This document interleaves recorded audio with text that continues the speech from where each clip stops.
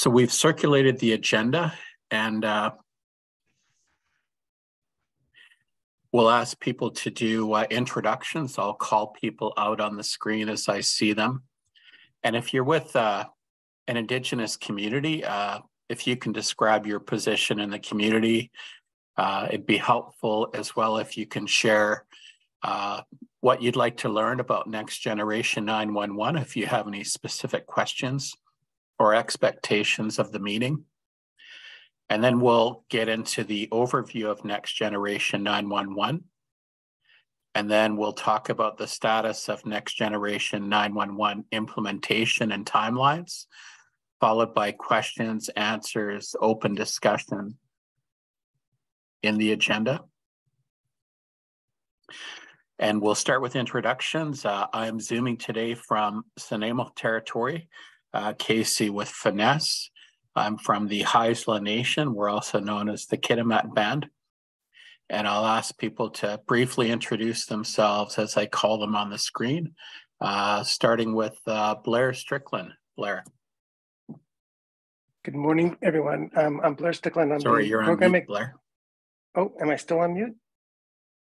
No, I can hear you fine, Blair. Okay. Um, Blair Strickland, I'm the program Yeah, we still executive for can't hear you. NG. Actually, we can, I'm Casey. gonna try to click on, Yeah, Casey, it might be your mic that's, or mic. uh, uh, ask to unmute. I can hear him. I don't think Casey can hear any of us. Blair, do you want to log out and log back in? And we'll see if you, Don't, you have don't do it, volume. Blair. I can't hear you. You're not- You're not the problem. Um, Casey, maybe we I'll should move text on you. to uh, Stephen Thatcher. You're gonna have the same problem, Casey. If you can't hear Blair, you probably can't hear me. But good morning, everybody. My name is Stephen Thatcher. I work with Blair at E-Comm 911. Good morning to you all. It's my speakers. All right, hold on. I'm sorry about that, folks. Test. Can you hear us now, Casey?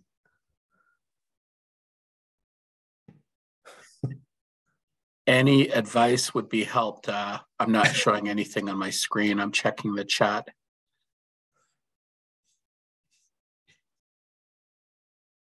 Brendan, are you able to hear? Yeah, I can hear. Uh, Brendan, I'm going to let you uh, take it away. My apologies, folks. I maybe maybe my computer stopped working. I have to sign in and sign back out if you can hear me there, Casey. But uh, yeah, I guess we can get back to the uh, roundtable introduction there. So I think uh, Blair was up next there, I recall. Sure. Uh, I'm Blair Strickland. I'm the program executive for E-Comm on NG 911 program delivery.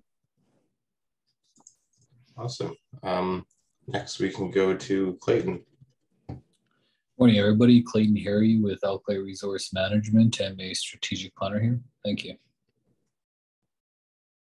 All right. Uh, next on my list is Danielle. Yeah, good morning. I'm Daniel Kempling with Malahat Nation. Nice to be here. Thanks. Thanks. glad you could join. Uh, next on the list is Assunta, if I'm pronouncing it right.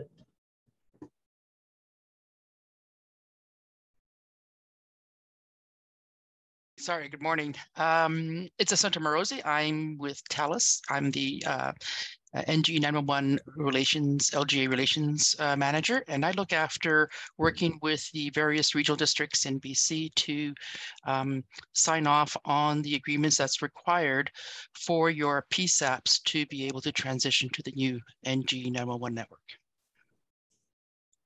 So thanks for the introduction. Uh, next to Denova Collins. Denova Collins. I'm the Emergency and Community Support Assistant with Tecumlip's uh, Tisquamic uh, Emergency Planning Program. Awesome, thanks for the introduction. Um, next on my list, uh, oh, I moved around a bit, uh, but Dee Edwards. That's me. It's Deborah Douglas. I'm new to Chiam, uh, a Chiang band member, but I'm uh, new to this program. Emergency Program Coordinator is my title. Thank you. Awesome. Glad you could join us. All right. Um, next on my list is uh, Chili Frank.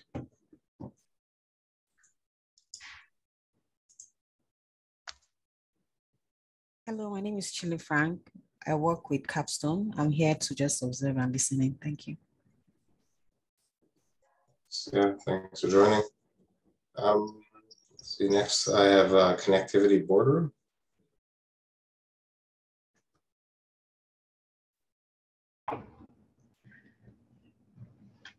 Good morning. My name is Jeannie Hollis. Um, our connectivity boardroom feed is off, and I'm here with Assistant Deputy Minister Susan Stanford uh, from the Ministry of Citizen Services in the Connectivity Division. Awesome. So glad you could join. Um, Clayton Harry. Uh, I'm pretty sure it went already, but uh, Clayton Oh, Harry my at Alclay Resource Management. Uh, good morning, everybody. My apologies for getting you to go twice. List uh, bounced around on me there. Uh, Okay. next, I have up uh, Clint Williams.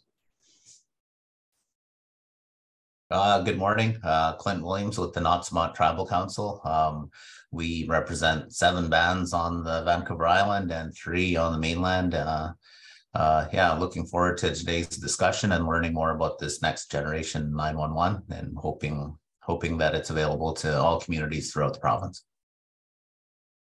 Awesome. Glad you could join. Uh, next, I have Denise's iPad. Well, good morning. Uh, Denise James with Penelakut Tribe. I'm still learning this awesome program and looking forward to hearing more information. Kachka. Thanks for joining, Denise. Uh, next, I have Diane Keeler from FNESS. Good morning, everyone. Really looking forward to this session. I really don't know anything about uh, Next Generation 911 really. So yeah, very excited to hear what, what's uh, available. Thank you. Awesome. Thanks, Dan. Uh, next, I have James Brown. Uh, James Fothigill Brown here, uh, emergency coordinator for Nitnat Village, uh, Ditidaht First Nations. Thanks. Great to see you, James. Uh, next, I have Janine Paulus. Hi, everyone. It's me again, just here with the Connectivity Division and uh, at the Connectivity Boardroom. So thank you.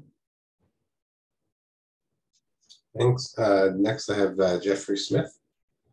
Hi, everyone. Uh, Jeffrey Smith, TELUS Regulatory Affairs. Uh, I have overall accountability for anything 911 related with respect to public policy, government relations. Awesome. Thanks for joining, Jeffrey. Uh, next up is Jenny Lynn from FNESS. Uh, hi, everyone. This is Jenny. Um, I work with FNESS in the decision support team uh, with Brendan. Thanks, Jenny. Um, next, I have Joyce Sinnott.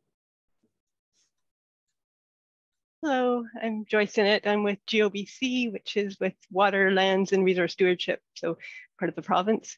Uh, my group works on a road centerline data set that covers the province called the Digital Road Atlas. Thanks for having me. You're welcome. Yeah, we use that data set all the time. Next up, I have Kathy Robinson.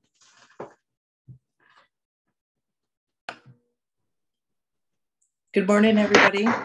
I'm the Emergency Program Coordinator here in Hartley Bay, Gitga'at First Nation. Thanks for joining, Kathy. Uh, Kristen from Stimatus.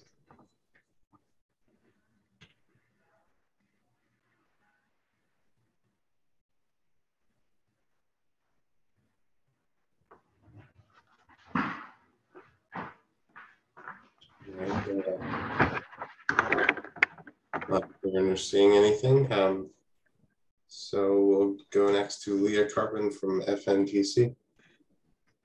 Thanks, Brendan. Good morning, everyone. My name is Leah Carpin, and I'm the Acting Manager of Engagement and Knowledge Exchange with the First Nations Technology Council. And uh, yes, looking forward to the session this morning. Thanks. Awesome. Thanks for joining. Uh, next up is Michelle Jacobs from FNESS. Good morning, everyone. Michelle Jacobs. I'm with the decision support team working for Brendan. Thank you. Thanks, Michelle. Uh, next, I have NNE. Anybody Signed in as NNE. Good morning, everyone. My name is Nena. I work with um, Capstone, NG911. Nice to meet you, Nana, and apologies for mispronunciation. Uh, next up is Rob.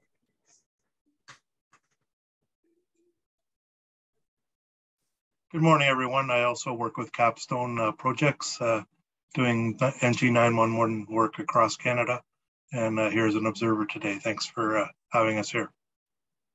Yeah, thanks, Rob, for joining. Uh, next up is Roger Starrett.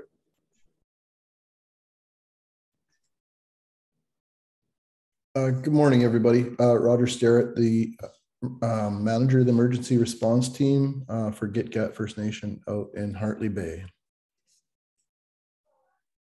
And thanks for joining. Uh, next Yeah, up, hope- hopefully, we can get some 911 service out here and that. You don't have it? Oops. No, no, we don't. I'll mute myself now so I don't talk out loud. well, hopefully these conversations can uh, make that a reality in the next little while. Uh, next up is Shannon Parsons. Good morning, everyone. Uh, my name is Sharon Parsons. I'm from the Lorna Indian Band. I'm the education manager here, and I'm just here to gather information to share with uh, uh, management uh, when the time comes. Thanks. Thanks, Sharon, and apologies for uh, mispronunciation again. Um, next up is uh, Stefan Thatcher. Hey, good morning again. I started uh, this round off when uh, Casey went dark, but once again, it's Stephen Thatcher, Vice President of Operations at E-Comm 911, and uh, Blair and I are tightly tied on the NG911 project. Awesome, thanks for the reintroduction. Uh, next up, we have Trey Hales from FNESS. Whoop. There we go. Yeah, good morning, everybody. My name's uh, Trey Hale. I'm a preparedness and response specialist for Vancouver Island for FNESS. I'm just here to, yeah, learn a little more about uh, Next Gen 911 I've been hearing about. So, Awesome, thanks, Trey. Uh, next up, we have Vera Chen.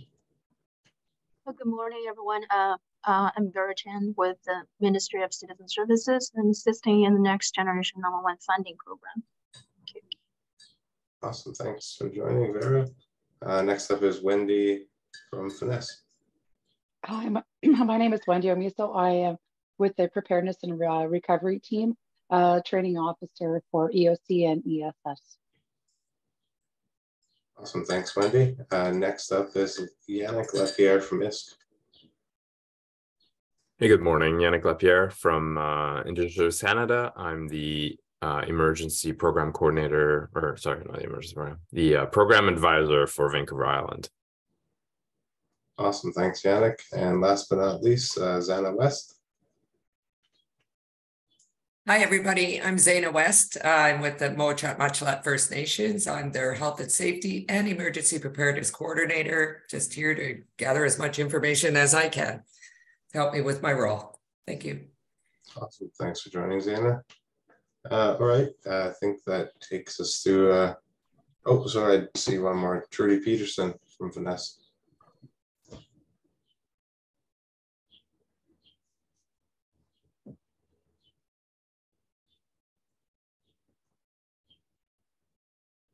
Trudy? Oh, Casey, I see your hand up. Did you get your mic sorted or speakers? I got it all sorted. Uh, you can go ahead and introduce the next speaker, and uh, if if there's anyone we've missed, maybe just uh, jump in and introduce yourself now.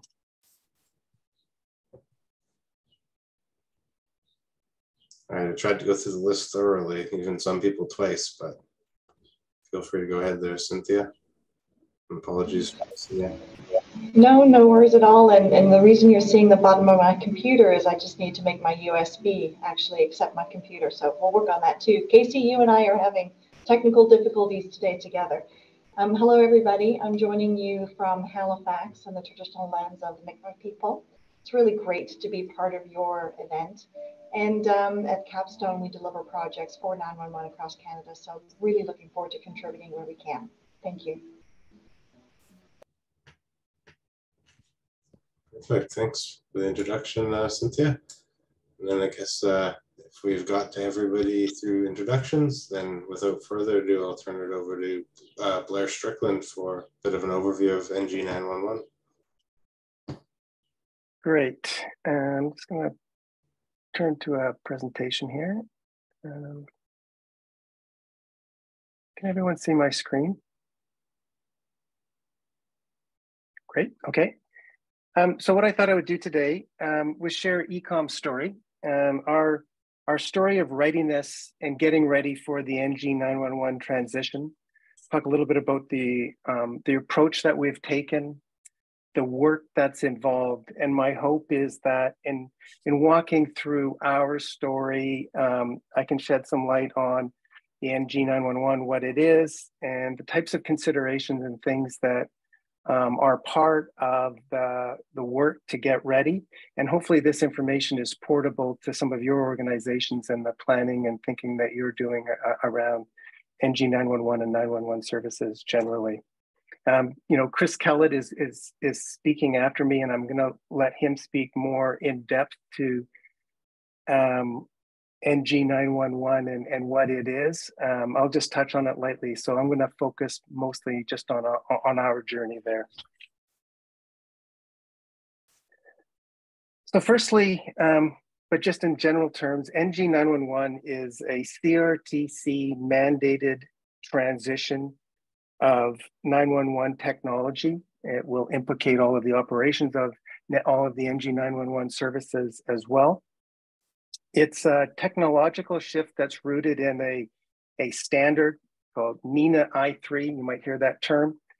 Um, but effectively, it's a shift in technology from old analog technology to common computer and network technology. Um, and so it's a, a technological shift. Uh, there's a brand new network that's being put in place to carry 911 calls. It's called the ESInet. And TELUS who's here today, is our service provider in Western Canada um, of that ESInet 911 network. And the real significance of all of this technological uplift is that it requires us to upgrade our existing 911 systems to be technically compatible with this new NENA i3 standard. So a little bit about the mandate. It's um, couple key features. First of all, it's the mandate requires us to transition all of the voice calls to this new NG911 network. And it's also going to be introducing a new capability called RTT, so real-time text. Uh, real-time text is a little bit like the texting on your phone, but a little bit different. So the phone, the texting that we do on our phones today, you put in a text and you hit send and you kind of batch it. Well, real-time text is a new capability where it's keystroke by keystroke. So the call taker will have the ability to witness you typing in the message. And what it does is it provides more contextual information about um, the caller when they're talking with a, a call taker. So um, on this journey, uh, we've already started. So TELUS has actually already turned on the ESInet or the new NG911 network. That happened in March 2022. And the real significant date now um, on this mandate is on March of 2025, the old network, old 911 network will be turned off. So in order to ensure that we have functioning systems, we will need to have upgraded all of our core technologies to be compatible with the new NENA i3 standard. Um, I, have highlighted a few dates here in, in that um, the RTT is going to be implemented um, progressively. And uh, as of last week, I think these dates are changing. So there's being work done with the CRTC working groups to actually shift these dates. And so Chris will probably give us the latest information about when the RTT capabilities will be introduced. But um, not to steal his thunder, but um, RTT is likely going to be implemented now on the March 2025 dates and into the later part of March 2025. So um, you know, the, the shift to this new technology, I would liken to the shift to an information age. It's far more than uh, a technical shift. It, there's lots of um, considerations to readying our organizations for this new technology. Firstly, um, not unlike our, our, our, your phone or your computer, we can expect a lot of a lot of change. So while we've been using 30 year old technology that's been very stable and has done what it's done in the same way for time and memoriam, um, this new technology will be far more dynamic. And so, one of the things that we need to do as an organization is prepare ourselves for the need to update our systems constantly, be it a security patch like our phones get or our computers get, or it's a new version of software. There's new capabilities that will be added.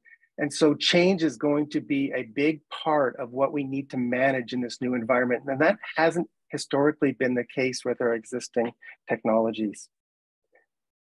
The other difference is um, the amount of data that we're going to be managing. So there's a physical aspect to this, there's a technological aspect to the managing of data, and there's a governance um, aspect. So um, with this new capability, um, there will be far more data that will be in our organizations to be managed.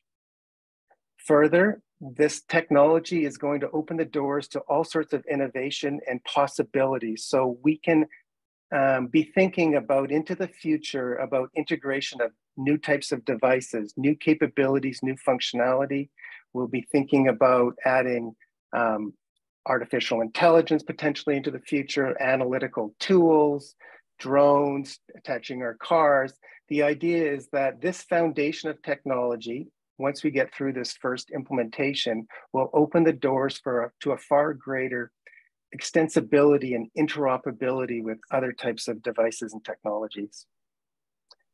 And with this newfound capability and information that um, that we'll have, it it ups the ante in terms of the privacy and the management of privacy. So we need to think about access models of this information, freedom of information, policies that govern who can see what. Um, it's going to be, you know, up upping the amount of time and effort that we require within our organizations to manage the privacy as well as the security. So as we move to um, this uh, new capability that's you know common technology like our computers, we introduced the, the prospect of common criminals and cyber attacks. So um, in, improving our security capabilities and measures is a big um, dimension to uh, the changes that we're having to um, put in place. So E-Comm's journey, it actually started um, quite a while ago. Um, in 2018, uh, we went out to the marketplace and I looked to see what vendors were, were able to support the, the, the NG NENA i3 uh, standards. Um, we we had, we identified a preferred um, set of um, software, and we went through an exercise of uh, of doing a proof of concept where we validated that uh, validated our thinking and, and ensuring that those products were in fact able to um, meet our core functional requirements, our core workflows within our organization, and could connect to the ESINet as they suggested that they could. So we went through a fairly elongated, multi-phase proof of concept exercise. Emerging from that was a lot of information that then informed our business case process. And so our business case um, was about understanding, you know, how many we required. So how many call takers we needed to support, how many licenses we needed to buy, how much capacity we needed, how many circuits we needed to upgrade, how many servers and things like that that we needed to buy. So we went through a fairly elongated business and complex business case process, as well as a, a, a program planning um, effort where we, you know, had to think about the team that we needed to put in place and the way that we were going to deliver um, the program. In June of 2022, we took these two major deliverables to our board and got uh, approval to proceed. And with that came a little bit of seed funding where we started to seed our program delivery team. So as of last summer, we started to um, hire hire some of the team that we required, not only for the delivery, but also for the support aspects of this. We started our vendor, uh, our vendor contracting conversations and our conversations with our contractor partners, which I'll speak to a little bit more. In March of this year, um, as, as, as, many of you may know, there was funding provided by um, the provincial government to support our initiative. And with that, we were able to ramp up um, our team in our hiring to, to full capacity. We were able to con, you know, continue to work on, on the development of our support team and work and actually sign up to the vendor agreements that we had been working through the previous year. So we've been able to start our contracting process in earnest and, and purchase the licenses and the hardware that we required. And since this time, we've been in full uh, execution mode. Um, and our team is now sort of flying at altitude and driving through the, the core project delivery work. So the approach that we've taken um, to our uh, our delivery to our program, a couple things here. First of all, we banded together with other organizations for a number of reasons. So we banded together with um, the RCMP, BCHS, and Saanich Fire. So these PSAPs are part of our program and they'll be um, residing and using our uh, NG911 um, call handling solution. So they are part of our, our program delivery. And this makes sense for a number of reasons. Um, it, it'll, it affords us the ability to better coordinate the rollout um, and delivery uh, uh, of the actual program itself, and then ongoing when there's future changes that we have um, these other organizations working collaboratively with us. So coordination will be facilitated inherently by having them with us. There's obviously economies of scale. So much of the cost and the infrastructure lift um, in doing this work is um, is, um, sorry, my phone's just ringing there. Um, so economies, a lot of shared costs, a lot of fixed, you know, hardware that needs to be purchased, infrastructure that needs to be in place. So by banding together with other organizations, we can make, we can create some economies of scale. And further, we can afford to bring together a, a bigger and robust group of people to actually support and, and implement this so that we can bring better and more um, privacy, security, network kind of capabilities, technical expertise to the table to, to support us. Another big dimension to um, our approach and delivery is that we've partnered with vendors um, where they are leaning on their expertise in these technologies. So we're not going it alone. And further to the point that I just raised, um, you know, there's there's there's safety in numbers. There's a bit of girth that we've got in our program by having multiple organizations come together, which allows us and affords us the ability to hire um, more people, so more capacity and more capability. So where it's not necessarily economical to have, um, you know, hire a person with ex each expertise, we can have privacy experts, we can have security experts, we can have networking experts at a level um, that support multiple organizations that we may not otherwise been able to afford if we were going it alone. And then, of course, um, we've obviously had to have a very deliberate um, project delivery plan um, where we've, you know, looked to orchestrate the delivery of our program across organizations and taking advantage of the fact that we've got multiple organizations participating us with us in this. And so our, our respective projects are all being synced up so that the delivery of NG across our, the, the province will be in a coordinated fashion. So just a little bit about the budget. Um, so the two major parts to the budget, two two areas to think about. One of them is the one-time costs, and so this is some some of the odd, uh, obvious items um, like hardware, like software, circuits, networking equipment, and things like that. Um, it's also your implementation team. So um, we went through an exercise of identifying all of those um, constituent parts.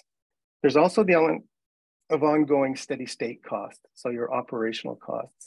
And, and in this bucket, there's the support team that needs to be in place to sustain and maintain this. There's licenses, um, that often have an ongoing cost associated with them. And then the other item is, is the operational impacts that NG brings. So the introduction of RTT will have an impact on our organization. It'll affect call handling times. Uh, we potentially will see an increase in calls. And so these are the types of effects that we've tried to anticipate in and the impact that they'll have on our staffing within the service, uh, the 911 service call taking operation of E-Comm.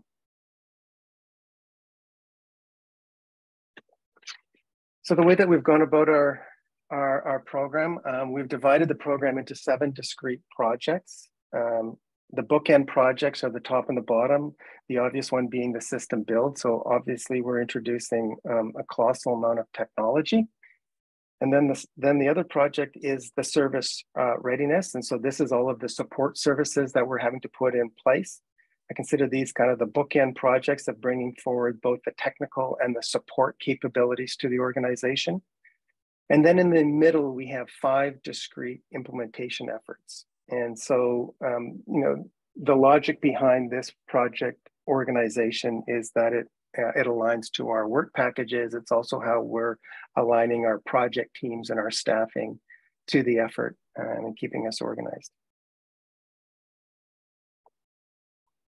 Now, a little bit about the work. I'm not going to drive into all of the, the nitty gritty details uh, of all of the work, um, but with regards to the system build, we have two data centers worth of, of equipment going in. So that's our servers and storage, um, networking and firewalls and circuits that are going in, all the cybersecurity capabilities that are being put in place. We have 17 different locations across the, the um, across the province that are being connected in. I think well, I will highlight for the group that there's three different copies of our software. So um, if you recall, I talked a lot about change and the fact that this is going to be a very dynamic um, solution. Uh, we can expect to have security patches and software updates on an ongoing basis. And that means that we need to be able to make those changes safely um, and without jeopardizing our production environment. So we actually have three different copies of, uh, of the solution. We have a production that we keep pristine. We'll have a development environment and we'll have a test environment. Um, so that creates uh, additional overhead in, in, terms of having to manage it, but it's necessary given that we think that this is going to be a very dynamic um, and, and, and, and a dynamic environment that where, well, part of that, that dynamic aspect I should highlight is, you know, this is very new technology too. And so um, where we were dealing with 30 year old uh, solutions and technology that were very stable, um, you know, we can we can expect that there is some risk of uh, of things untowards things happening in, in our solution, and that we'll constantly need be needing to manage that um, through our technology. So this whole work stream is going to follow a pretty traditional uh, system project where there's an architecture activity. We go through it, we've been going through design processes. We'll be installing it into all of these different locations. There's going to be configuration efforts, and of course, the very robust texting testing exercise that we will be doing in terms of the core technologies, but also in terms of all the call flows and things like that that we need to make sure um, are in place properly. So a substantive amount of work uh, on the system build side. I consider this a bit of the stealth scope in an initiative like this, where um, we don't often think that this is going to be a big lift. But given that we're talking about a whole new um, type of technology, we're having to do an extraordinary amount of uh, work with our service operations team to ready. We're adding people, um, to, to the team. We're having to retrain existing team members to the new technologies. Um, we're adding skill sets um, to, to the group. Um, and we're having to even think about the organization of the technology services um, department within E-Comm and having to, to rework some of that to factor in this big shift in, in, in technology. There's also a lot of um, process work that needs to be done. So there's new support processes that need to be put in place. There's old processes that need to be reworked. when I'm thinking about processes, I'm thinking about the way that we communicate and work with our vendors. So when things happen, we will you know, be looking to resolve issues, but then we'll be backing into our vendors and needing to think about how those relationships work. And then further, um, we have uh, our partner organizations, BCEHS, RCMP, Saanich Fire, and a lot of those processes will extend into those organizations as well. And then, you know, in, in keeping with the people, process, and technology uh, changes afoot here in this service dimension, um, the technologies are changing as well. So the way that people are diagnosing issues, the way that they're monitoring their systems, the way that they're remedying the systems and upgrading them, those are all going to be changed as well. There's a whole new toolkit that's being put in place. And so not only do we need to design all of these new service aspects. There's a substantive amount of work to implement them as well so people are familiar with them and then can follow along. We can't turn on the system until all of our services are in place and operational. And for those visual thinkers, um, which I am, this isn't just another view of that services model. So in the middle, you have all of that core technology that you stood up in your build exercise. So we've got our software, we've got our different environments, we've got our infrastructure. Wrapped around it is all of the capabilities that are part of that. So that's the voice capabilities, that new RTT, the integration to our, um, you know, our, our CAD systems, call logging, our failover, capabilities. So that's the capabilities of that system. But then on the left are all of those things that we do to sustain and maintain the solution. And so this is system change control. So the way that we manage changes through our environments, the testing that we do, the training and retraining of our staff. It's the service desk that we that we have in place to answer calls when things and incidents happen. Um, it's about planning for the future when think people are thinking about new functionalities and capabilities and how we work through that and introduce that into the solution.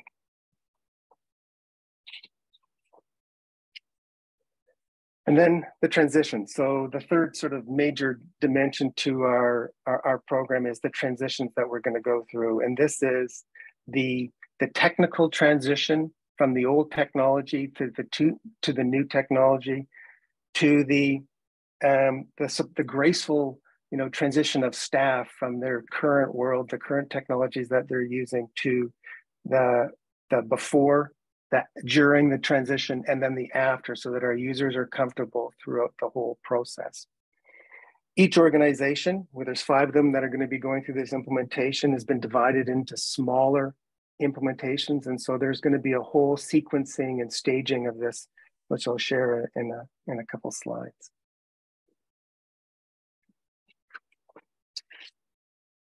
So the work that we're doing effectively this summer, it's about uh, a couple of key aspects of design. So we've got our core technology design laid out, but there's some end user facing type of design work that we are hot and heavy on right now, working with our user groups to, to sort out things like reports, things like the, the user interface, um, RTT, there's lots that's not fully known about RTT and how it's going to work and what policies and processes are going to be followed for RTT. So that's the work that we're doing through this summer. In the fall, we'll we'll be we're doing lots of planning around the transition itself. So what did what does that transition cycle really look like in terms of the day-to-day activities, that within the day kind of activities, both technically and with our users. UAT will be a big part of what we do. So user acceptance testing, making sure that the way that we've stood up the system is in, is in fact how the users were expecting it to be stood up and that they, they're going to help us validate that we got that right. And then there's the transition prep. So it's putting in those final pieces uh, of activity. It'll be like the training of staff. It'll be those final technical changes on the floor within our operations that get put in place right before we go live.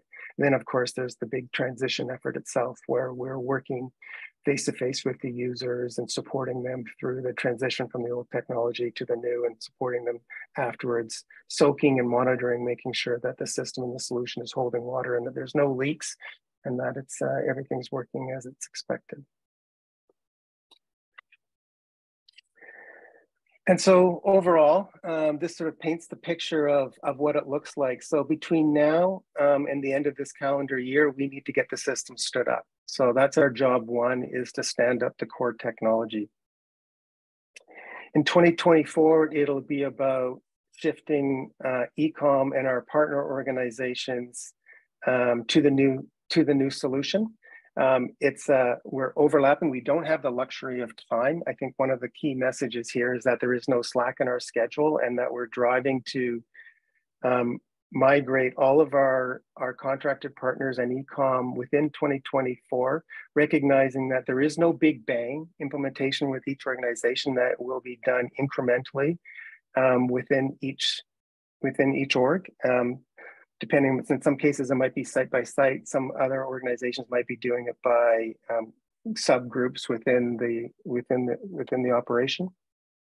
The idea is that we have fully transitioned as best that we can every organization by the end of 2024 so that we have 2025 as contingency. Um, there's lots of technical risk associated with uh, standing up this program and we need to be planning for um, the potential that something has uh, affects us and slows us down in some fashion. And so we're we're working hard to build out our plans such that 2025 is a is a contingency in our schedule. And then um, just some parting thoughts is that this is NG911 is really um, uh, this first mandate is really just the, the foundation. So it's about voice and RTT but the the core capabilities that we're putting in place technically as well as operationally in terms of that support team the idea is that we'll be able to build off it and continue to evolve the solution to meeting the needs of um, public safety and, and and our responders. So at the beginning of the journey.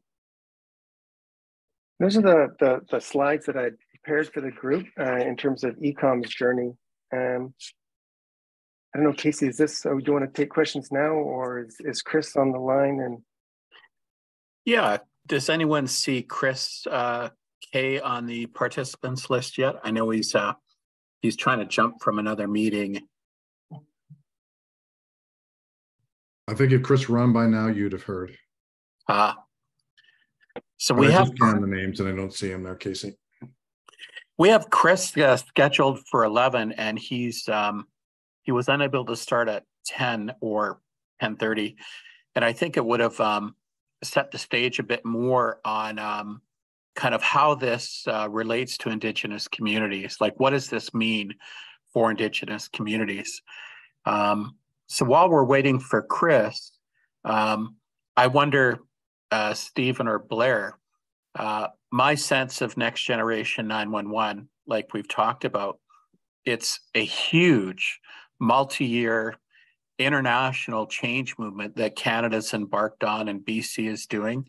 It's uh, it's multi-year. It's it's incredibly complex, changing from the uh, the old system from the 1950s. And I know the province has assessed uh, the state of 911 in BC, and it's fair to say that um, 911 services are not available all throughout BC, including the different systems. And I wonder if um, either of you could speak to that in a little bit. And then Chris is really going to talk about, you know, the difference between that old system and the new system and the requirements. But uh, while we're waiting, um, could could either of you give that two minute overview of just the history and the and the relevance and how uh, the magnitude of this changes? History. Hmm.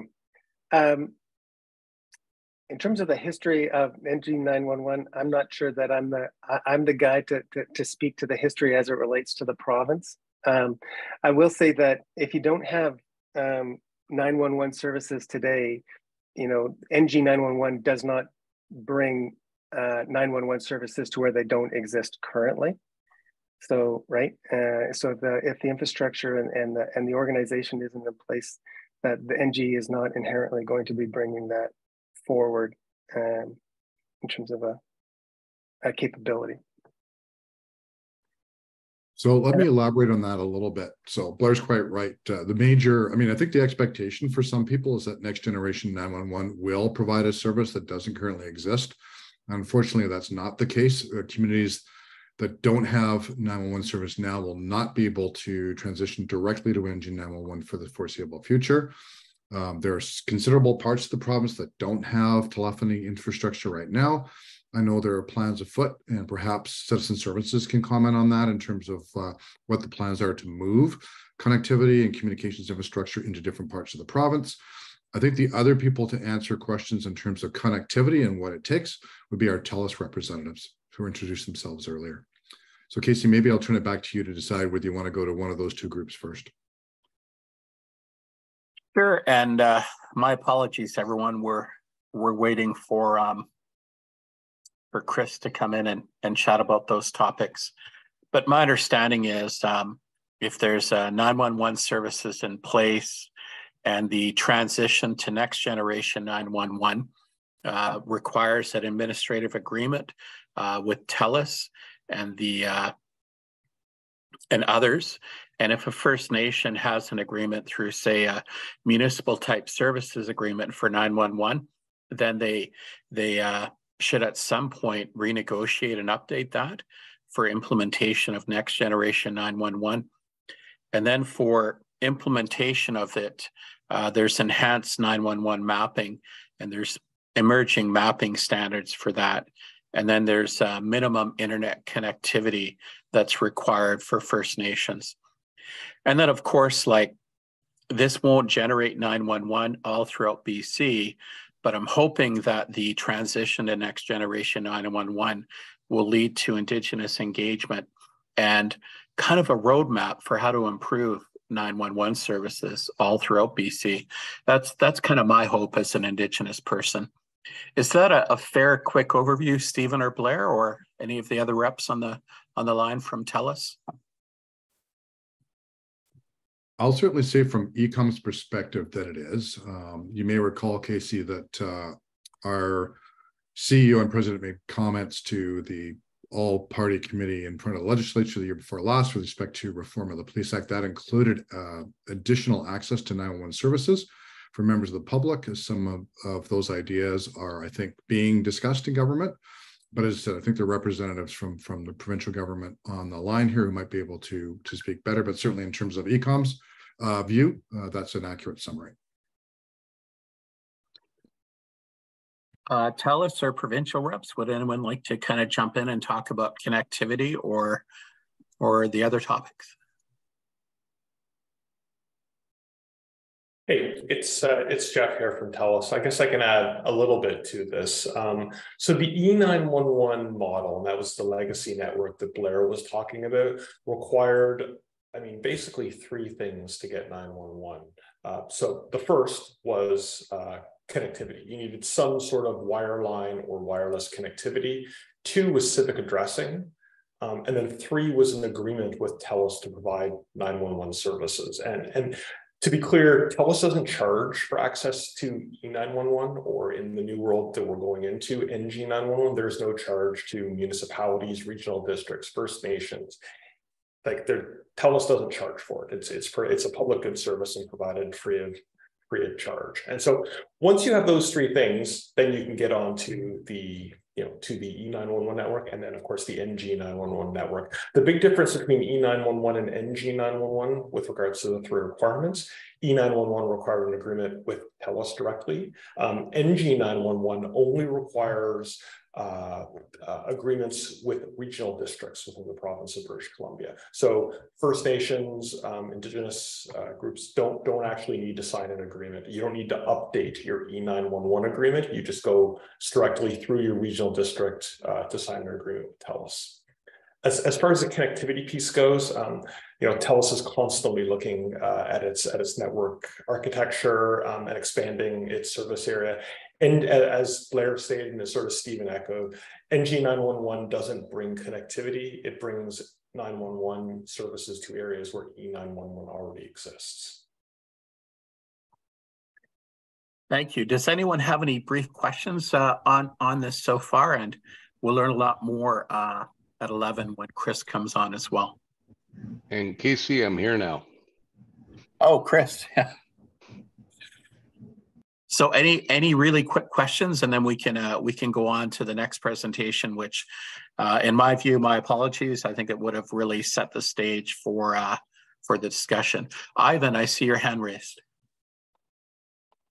Yeah, thank you. Uh, and sorry, my my camera is not working today. I'm a little bit uh, off offline, uh, just getting uh, enough bandwidth connectivity for for sound. So, but I just wanted to make a quick comment on the um, on the aspect of connectivity, and um, I just came a little bit late, but I am sure that it was at least mentioned that uh, our ministry has been working on the connectivity portion of access for uh, remote communities, indigenous communities, and so on for the last, uh, I'm just gonna say five to 10 years, and we are still in the work, um, the works for, for getting better connectivity, which is the first component that uh, the colleague from TELUS was talking about. So that portion of connectivity is something that not necessarily related directly to 911, but as part of that ecosystem of different components uh, we're working on. And, and we're aware of that because in many of the communities that we go, the very first question that we're asked is about uh, connectivity for the purposes of emergency management and public safety. So, so yeah, I mean, this, not the intent of this call, but we can uh, we can for sure um, continue the, the, engagement with the different uh, parties that are uh, interested in understanding what the connectivity uh, portion of, of this whole system will will look like in in I know three five years from now. Thank you for that. And maybe, uh, Chris, before um, we have you launch, I'll quickly go over just a few questions that are in the chat, uh, just in the order they appeared. Uh, there was a question asked about what about elders and others that don't really text and how will NG 911 impact them? You know, when we talked about the text capability, um, there was a question about, I'm just scrolling down. Will there be limits or requirements for fiber optic cable or cell service levels such as 3G or 5G that some communities may not have? Um, when there is mention of operating systems, software, hardware, a question on what are the operating systems that run these digital systems, Microsoft or self-designed, and keeping on scrolling. Are there plans to expand 911 services to remote communities that do not currently have a 911 service? Um, I can cover uh, that, Casey, during my presentation. Sure. And then uh, the last one, as a first responder, our service is not very good using our radios and cell connection doesn't cover our island except for certain spots. How will this impact us? It won't. Yeah, um, and then my my hope is that there'll be an engagement and there'll be some type of roadmap for improving 911 throughout BC. Uh, work to be done in years ahead. Um, and then a comment, one of the benefits of phone lines is the functionality when there are localized power outs. Correct me if I'm wrong, moving to a digital system means the systems won't work during power outages. Or are there contingencies to ensure the system will work during localized power outages as the previous system did. This would be for folks who still use landlines where there's no cell service. So uh, with that being said, Chris, I can turn it to you. And if you have a presentation, uh, you should be able to share screen. Thanks, Casey. Uh, you should be able to see my presentation now. Uh, perfect. Okay, um, let me just uh, go. This is a short presentation, but there's uh, quite a bit to talk about, so I'll I'll do that. So I'll start off by introducing what the CRTC Emergency Service Working Group is. Uh, it's an advisory body that was established by the CRTC way back in 1997 uh, to do work uh, either directed by the CRTC or approved by the CRTC. Um, today, this group has over 500 uh, stakeholders from across uh, the country uh, that include public safety answering points, uh, emergency service uh, responders or dispatch agencies, Uh, the major telephone companies that provide 911, uh, of course, TELUS in our territory, SaskTel and Bell in the rest of Canada, as well as uh, all the wireless service providers that are out there and many other telephone service providers that provide either landline or or wireless services across Canada uh, or in uh, regions of Canada. So our group is large and we work on a lot of different tasks. Uh, there, if you type CRTC ESWG into a web browser, you'll you'll get you'll get taken to our website where we have everything listed in terms of our activities. Um, it would take uh, a lot longer than this meeting for me to cover everything that we do. Uh, there's a lot. Uh, my role uh, is I participated with this uh, with the Emergency Service Working Group since 1998. I've been the chair for the past 15 years, uh, since 20, 2009 till present. and today's presentation is going to cover what is NG911, what's the difference between enhanced 911 to NG 911 transition versus basic 911 and unserved areas uh, transition to NG 911 because it's different. And then uh, this is a fairly short uh, uh, meeting today, so there will, uh, from my perspective, if you want to have an opportunity to connect and do this in the future again, I'll be happy to assist uh, with different stakeholders that you have out there and provide further information uh, that's more uh, detailed in relation to connectivity requirements, uh, mapping, and administrative agreements. So that's the topics I want to cover for today. Um, and let's talk about why we're doing this.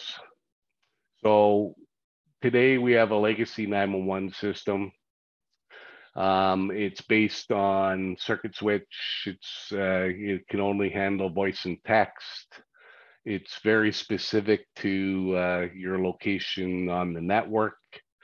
It provides uh, in some areas, uh, the majority areas in Canada, you get uh, name, callback number, location, uh, service provider and class of service, meaning whether it's residential, home, uh, excuse me, residential, business, uh, uh wireless, etc.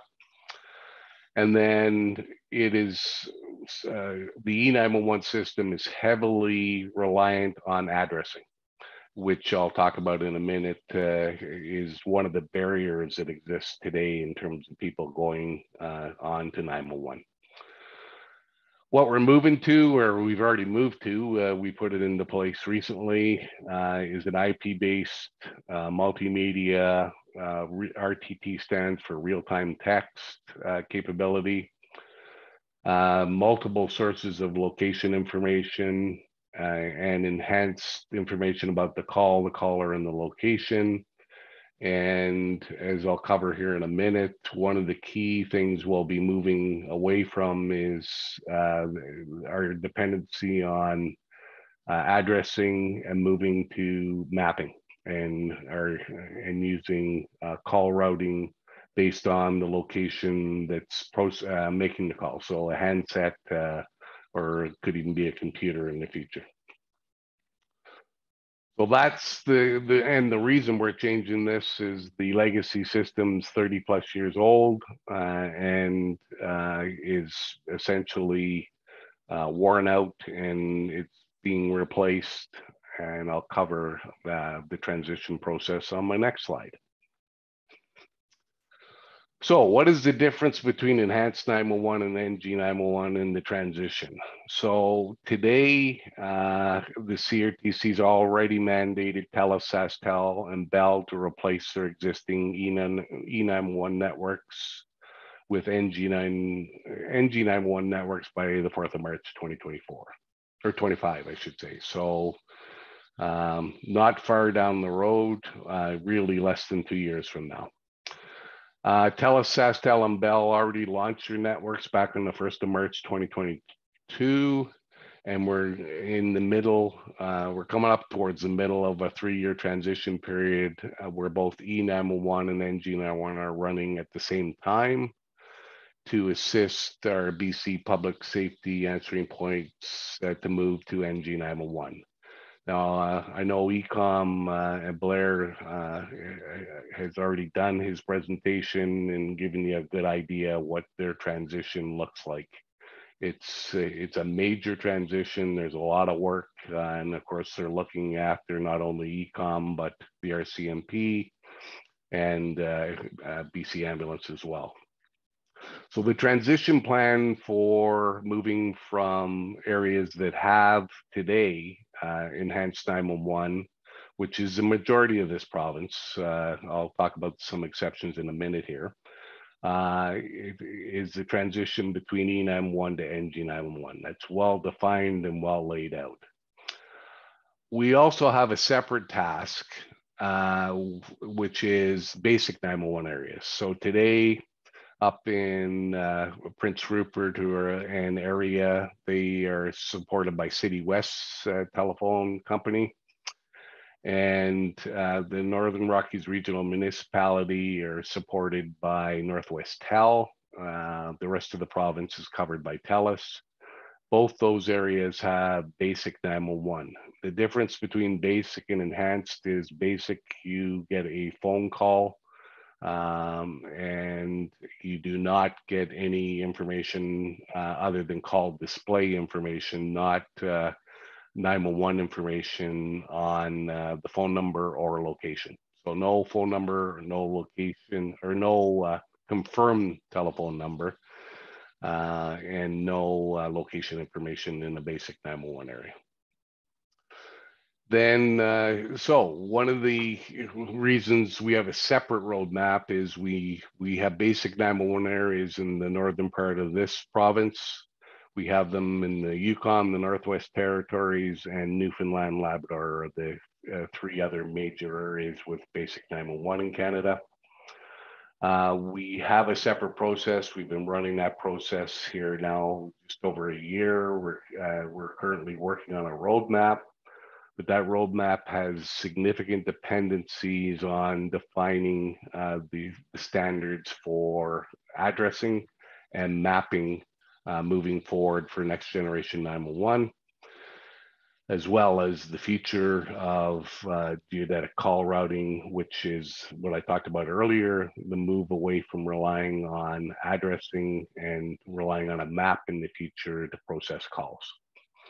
Uh, and that has significant uh, benefits. The key benefit it has is it eliminates the civic addressing barrier that exists in many unserved areas today. The major hurdle that uh, there's two major hurdles. One was they don't have addressing, and two, many don't have uh, all three emergency services. Uh, so police they have, ambulance they have, but many don't have fire uh, or have agreements in terms of fire. And so that's been a limiting factor uh, in some uh, unserved areas.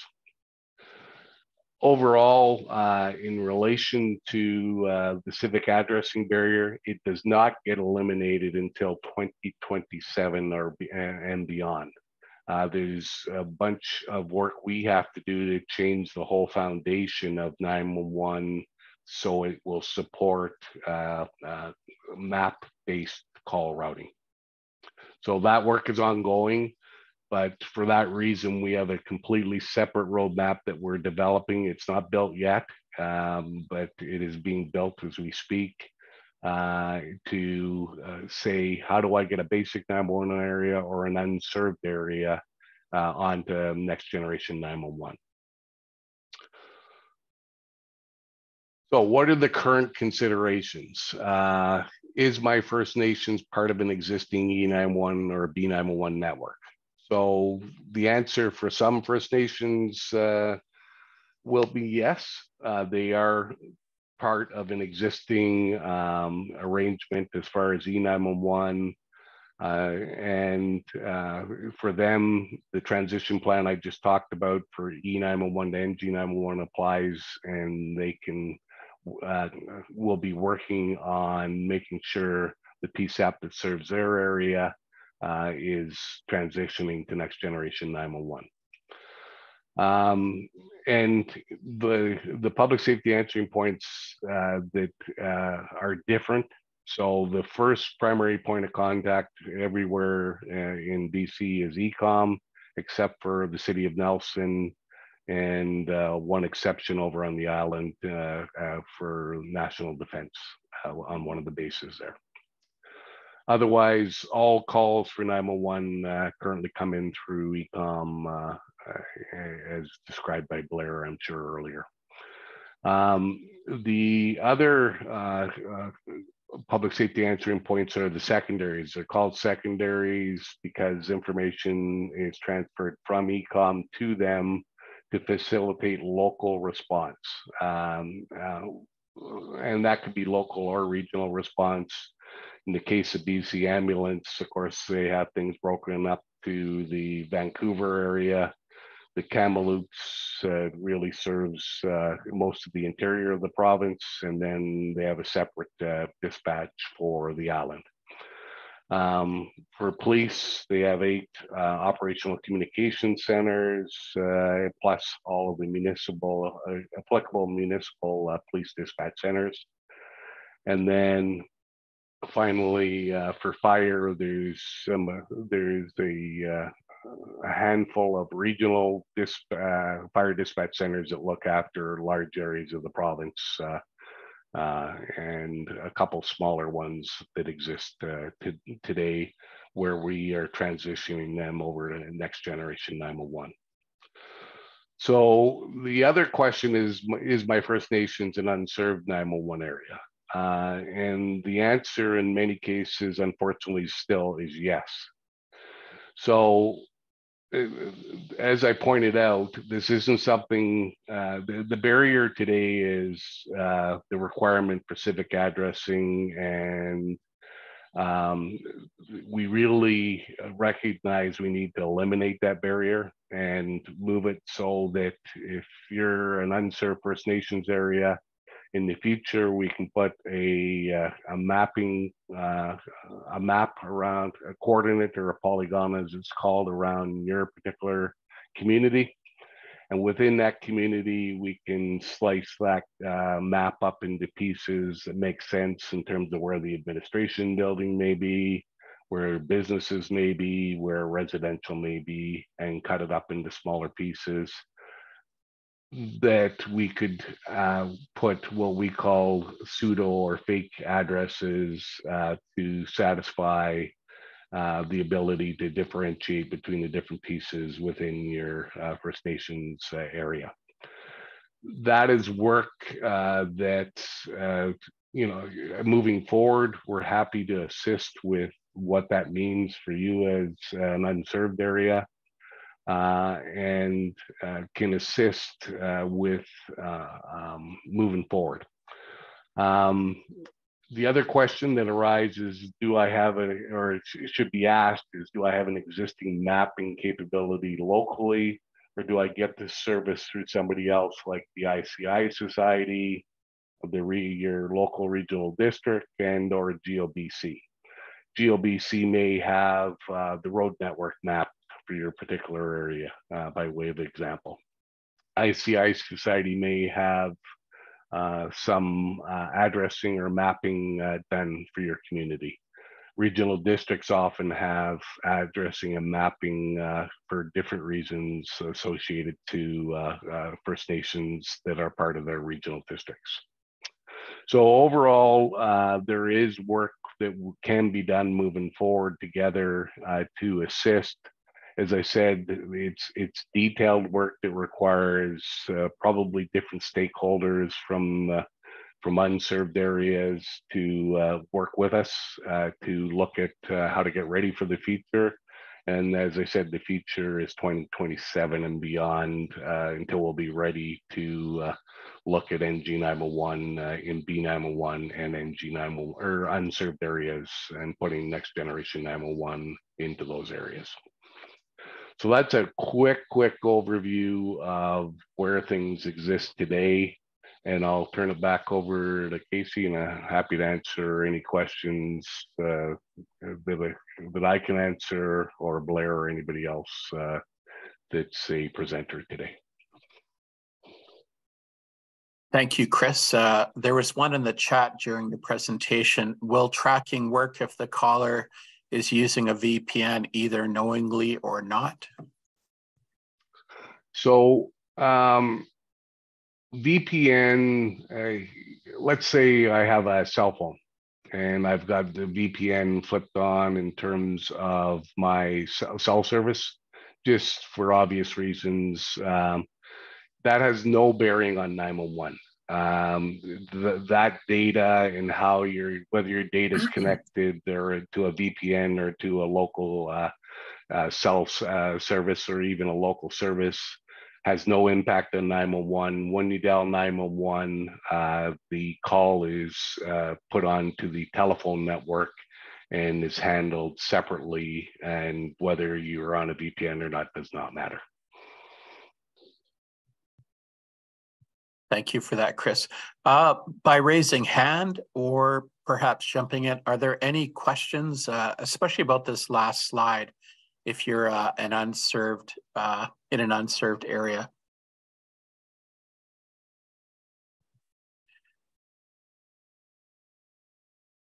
If anyone has any uh, any questions.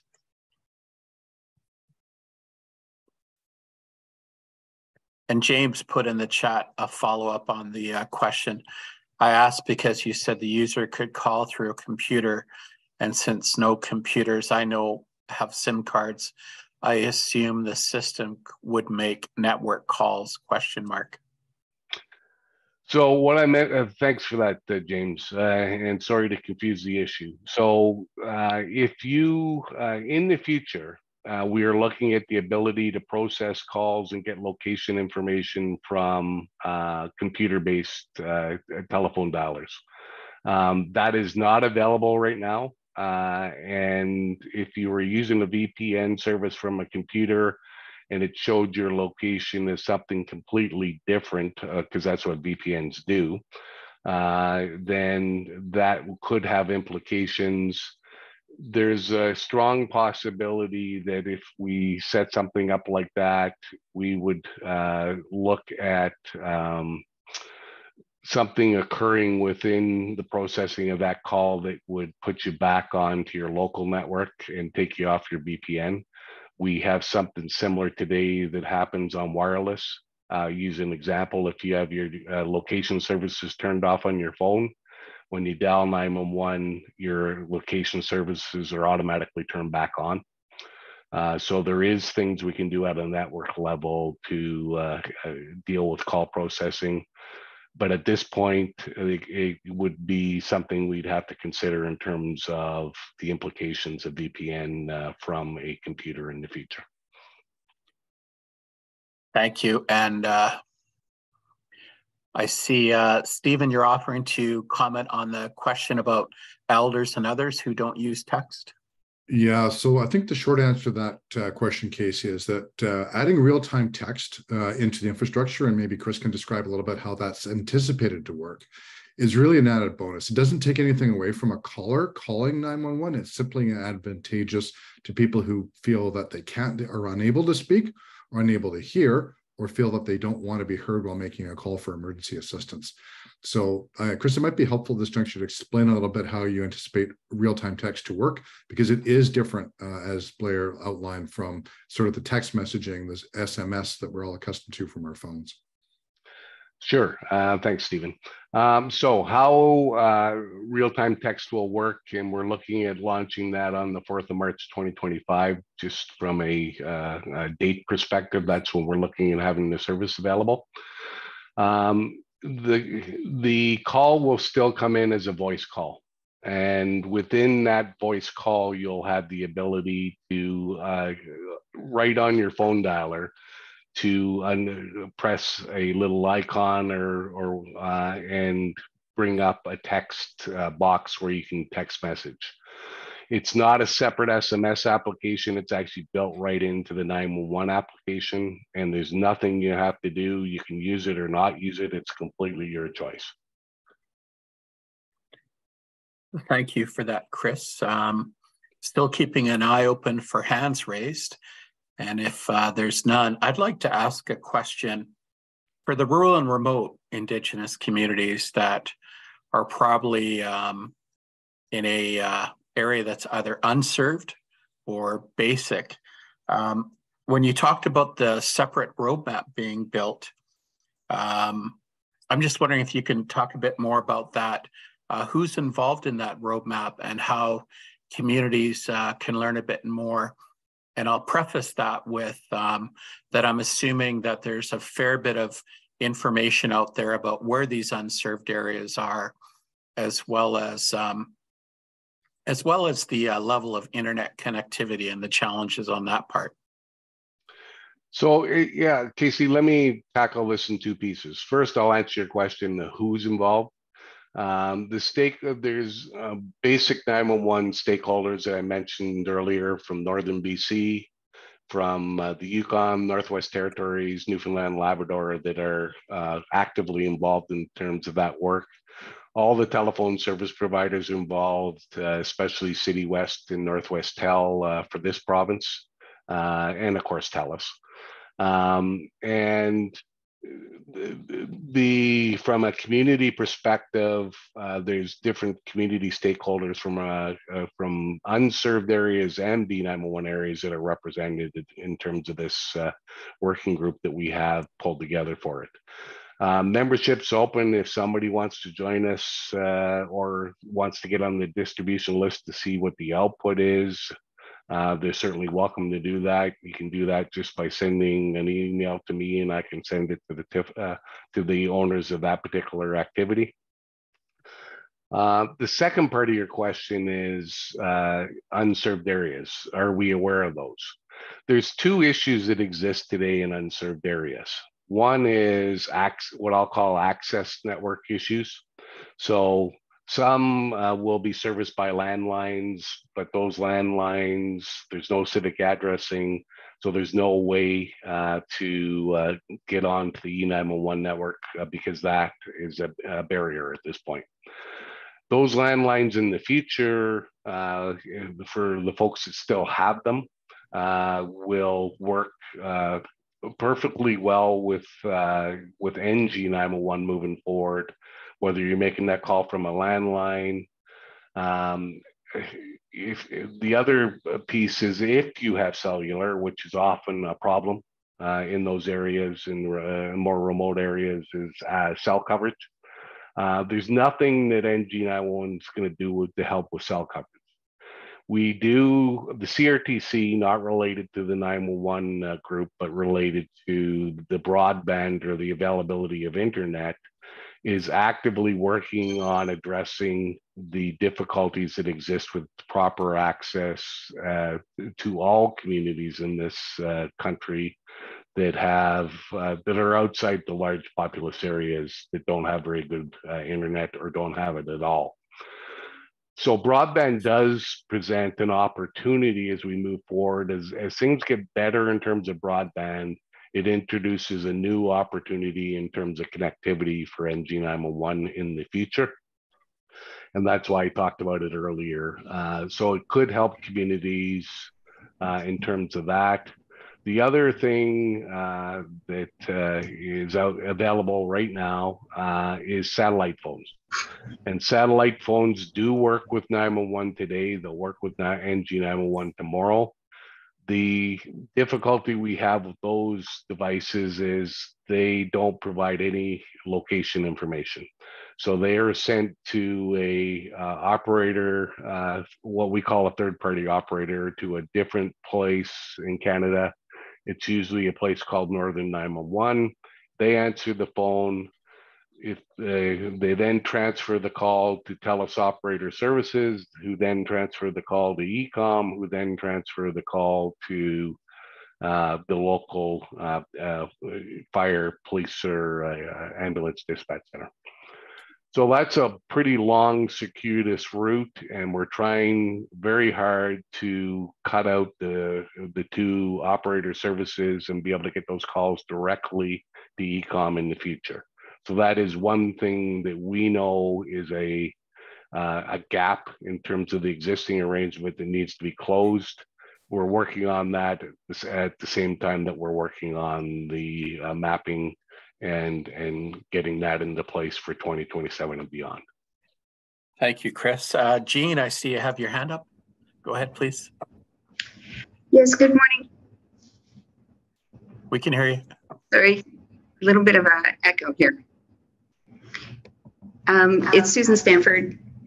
The uh, I'm Assistant Deputy Minister for Connectivity with the, with the province of BC. I'd just like to take a moment and expand on um, some of the broader connectivity pieces that are in play. Um, so the province has a joint agreement with um, Innovation, Science and Economic Development Canada to fund terrestrial builds um, in the province. Uh, and we're also working on a, a, LEO satellite initiative, but the province has set a target that every home will be connected to high speed internet by 2027. So there's a significant amount of funding which is in play. Uh, we work with both the CRTC data as well as ISED, Innovation Science and Economic Development Canada um, data set, and there's, there's ways of finding out which areas are eligible or considered underserved at this point in time. We also work with communities um, where there may be a discrepancy in, in service. So where um, data sources are saying that communities are, are served and homes are served. Um, we're happy to work with communities to, to verify and validate that information um, for eligibility for funding and working with service providers to build infrastructure out. In BC, we have approximately 15,000 kilometers of primary and secondary highway. Um, of those kilometers, 4,200 are estimated to be without continuous cellular coverage at this point in time. The um, of that 4,200 kilometers, about 31 also does not have available power. So the deployment of cellular along those stretches of highway, this includes um, the Alaska Highway and, and Highway 97, as being particularly challenging. Um, the province announced 75 million in expanding highway cellular um, earlier this year. And so while there is about 530 kilometers of uh, highway cellular expansion, which is in flight now, meaning um, cellular, you know, the, they're not built yet, it's not lit, but in the next uh, one to two years, um, those 530 kilometers should be um, available. In addition, there's 550 kilometers of the target of the new funding. So we should see more than a thousand kilometers of uh, new highway cellular coverage in, in the next few years. And we hope to continue and, and make that even broader. Where highway coverage uh, is not possible uh, based on constraints like power, we are working with um, local governments, regional governments, um, on deploying call boxes and uh, other types of connectivity for rest areas for emergency purposes. And I'll, I'll stop there. There's lots going on. um, we're happy to do any briefings with anybody on, on what's happening with connectivity more broadly in the province. Thank you. Are there any um, any other questions from participants? Maybe either jump in if you're on the phone or raise your hand.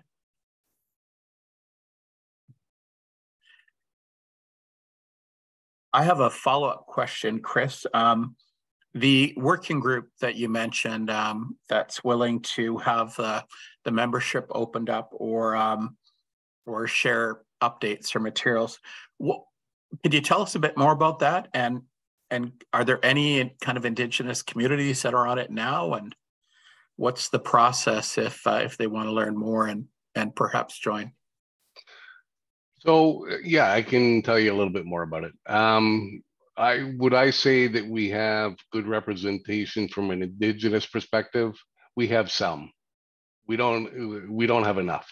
So having more uh, participants would be great. Um, as far as that particular committee goes, it's a we are a technical committee so uh, if you were to take an administrator and drop them onto our technical committee they would not find it a good use of their time and they'd be frustrated fairly quickly. So you have to have the right resource sitting in uh, in terms of participation. Um, we also have a communications group that as we get this information available, we will make it available widely to uh, administrators and higher to assist in understanding in terms of next steps. Um, at this point, that group, like I said, is highly focused on the technical, operational logistics to get this into place. If there is somebody that has a background that wants to participate, uh, they can, like I said, they can just send an email to me. I'll uh, provide my contact information in the chat here in a second. Uh, and I will uh, forward it on to the owners of that particular activity. Um, Thank you, Chris. Just checking the net again. Are there any uh, any questions based on what's been uh, presented so far?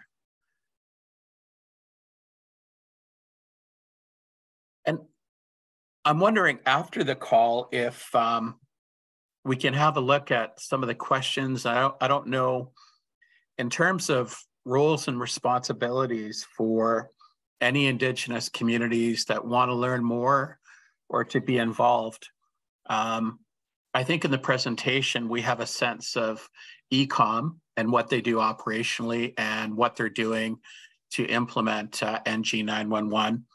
I think we have a sense from TELUS. Uh, in terms of uh, the province and Canada, and uh, I don't know if that's through the CRTC and the different groups, I wonder if um, if there could be a bit of discussion on the roles and responsibilities like um, who would Indigenous communities contact if they wanted to learn more? How would they be involved?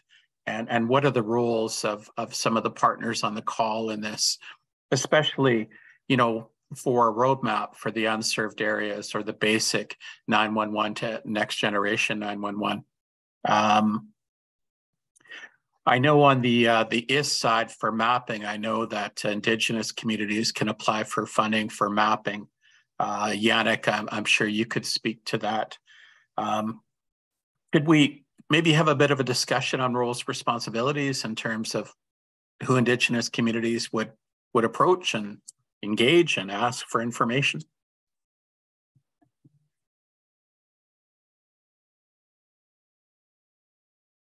Basically, it's Stephen uh, for E-Comm. Yeah, no, I'd be happy to participate in a conversation like that. I think that would be very, very helpful in terms of providing First Nations uh, leaders with the information they need to find out where to go and who to speak to on what particular topic. I think the additional advantage is it allows us to know who else is also assisting. Um, so we have a little bit of situational awareness across the board. Thank you, Stephen. And I know in the past there was the provincial 911 uh, steering committee, but my understanding it was uh, disbanded. I, I sat on that committee briefly for about a year, a year and a bit.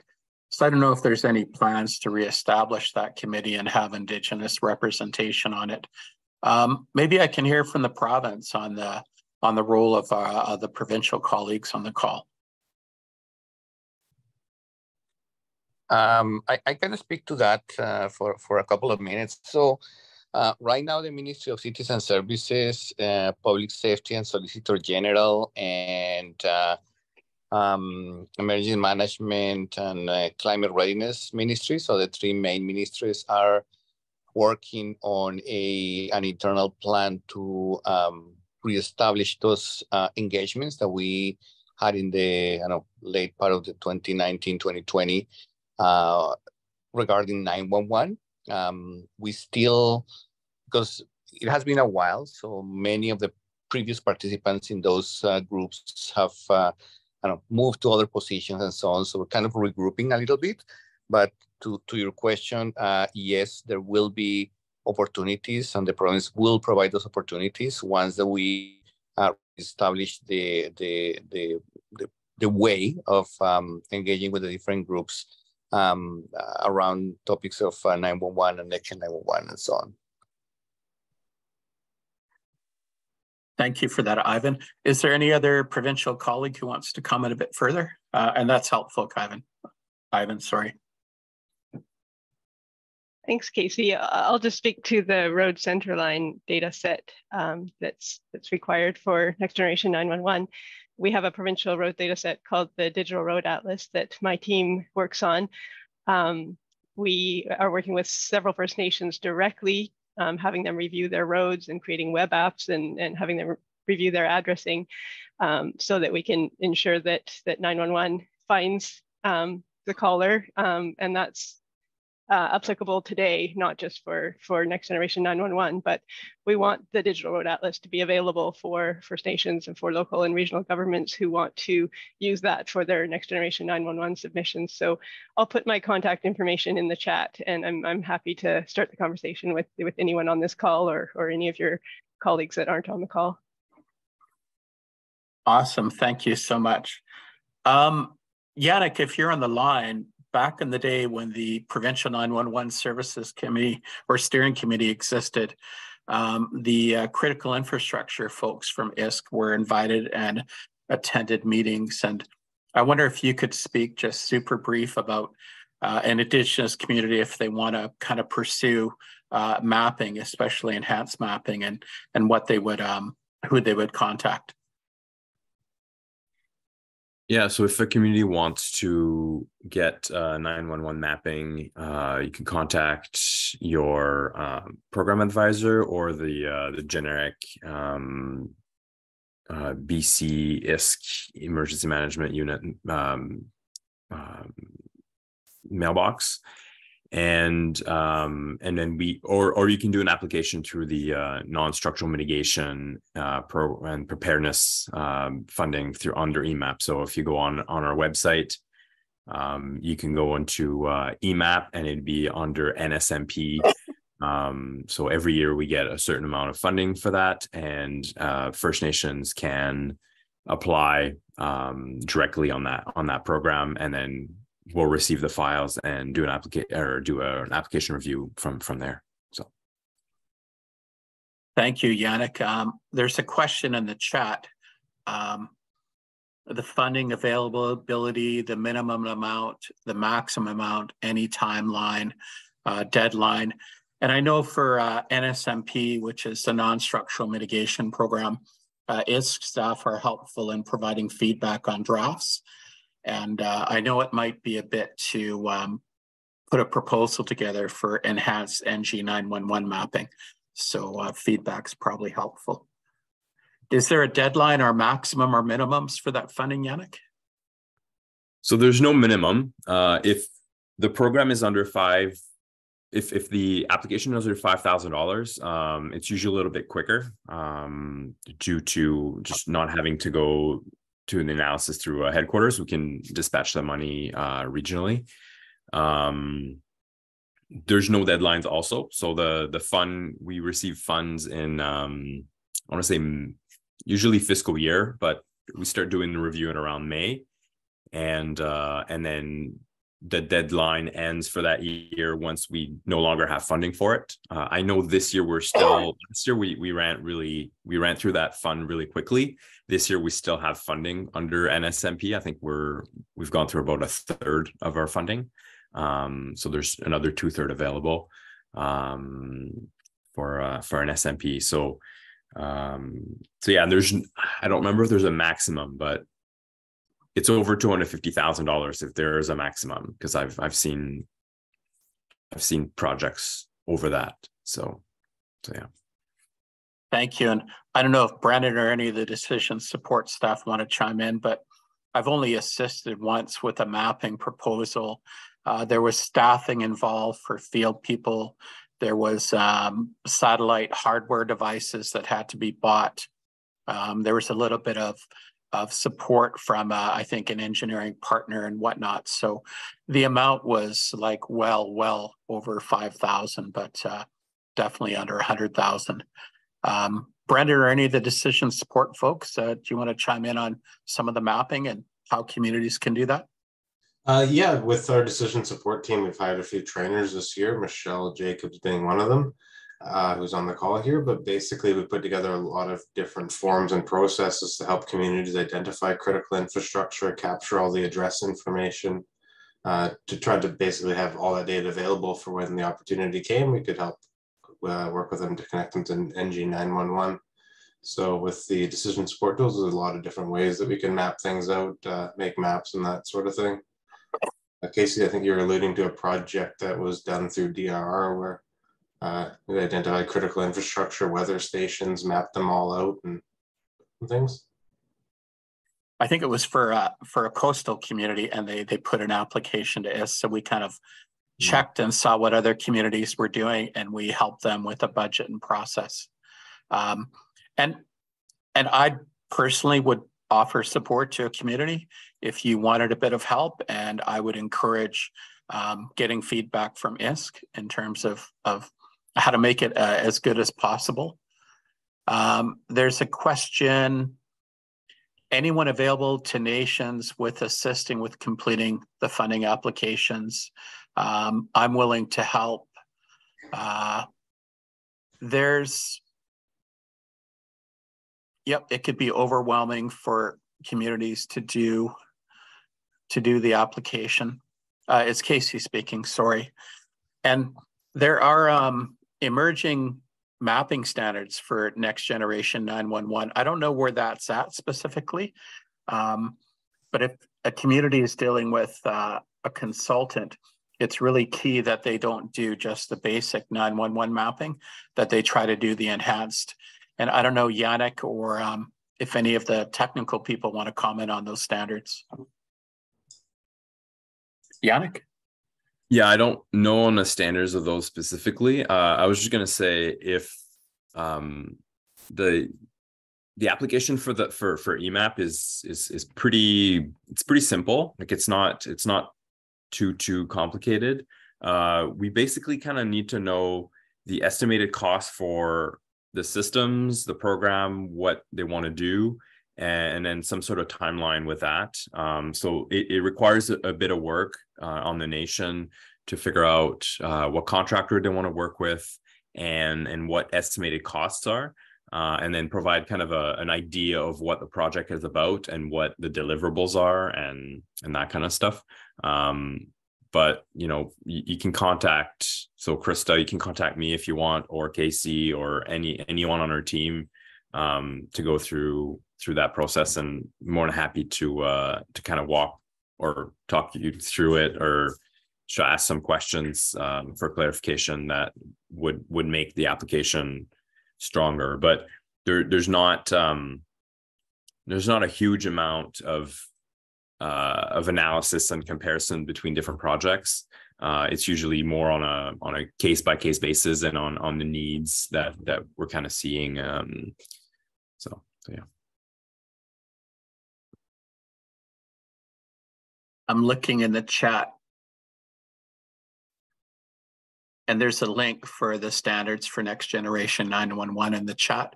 And I'm assuming that has the uh, the mapping standards. Is that correct?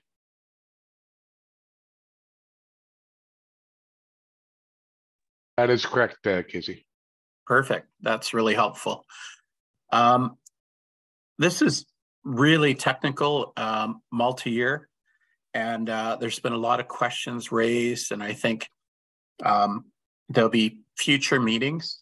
What I'd like to do with uh, the presenters and organizers who help put this on is maybe come up with a, a little FAQ for some of the broader questions, like um, especially from the uh, from the indigenous communities, and then just kind of clarity on the path moving forward, like we talked about, who to contact, how to get involved, and Ivan, I know you talked about the uh, the three ministries getting involved in a internal plan for um, reestablishing engagement.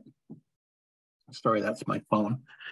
And uh, I think the FAQ and the follow up we do have the monthly Indigenous Circle of Practice, uh, the first Tuesday of every month, usually 10 a.m. till noon. So whenever it makes sense, once we kind of do an FAQ and a bit of materials and get a sense of the um, the reestablishment of an engagement plan, it would be good to kind of update the participants of the circle, and they're mainly um, people who work in staff positions in Indigenous communities as emergency program coordinators or community safety officers or fire departments. Um, so I'd just like to put that out there that uh, this was really good. I know we kind of scrambled to put it on. It's highly technical. So maybe in the um, maybe in the early fall, we can have an update and uh, bring it to the circle. Does that sound okay from uh, my colleagues on the call?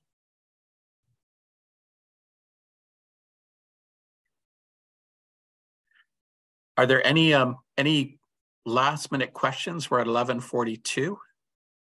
I'm just checking the chat. Okay. My thank you to all the presenters. Uh, my thank you to all the uh, participants who took the time. Um, super complex, super technical. Uh, I'm, I'm hoping there's going to be a really good engagement plan for Indigenous communities. Uh, I'm hoping that uh, the unserved areas and the basic areas that, you know, in the years ahead, uh, we'll really have some improvements and some capacity building. So um, my thanks to each and every one on this call and uh, have a have a great day, everyone. And Thank this session's being recorded as well. Thanks, Casey. Thank you, Casey. Thank you, everyone. Thanks, Casey. Thank you, everybody. Thank you. Thank you, Casey. Well done. And um, we'll look forward to the next session. We'll certainly help you get some documentation together. For sure. And it's it's reminded me how darn technical this thing is. Yeah, and uh, you know, poor uh, poor Blair is living that every day as we try to drive this project uh, forward, and just the resources